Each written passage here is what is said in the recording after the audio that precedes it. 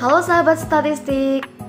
BPS Provinsi Jawa Tengah kembali menggelar workshop pada hari Selasa 31 Oktober 2023. Bertempat di Hotel Bimarion Semarang, workshop persiapan rebasing PDRB berbasis CVM Provinsi Jawa Tengah tahun 2023 dihadiri oleh berbagai penyedia data sektoral dan akademisi.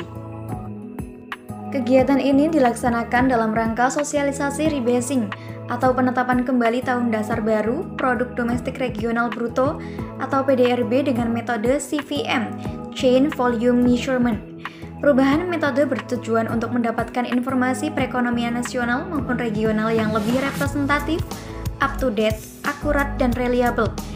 Harapannya dengan adanya rebasing dapat meningkatkan kualitas data PDB atau PDRB dan menjamin konsistensi dari tiga pendekatan penghitungan PDB atau PDRB.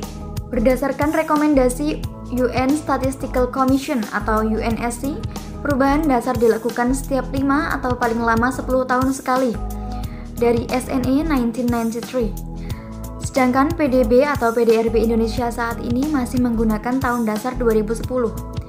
Lag selama 13 tahun.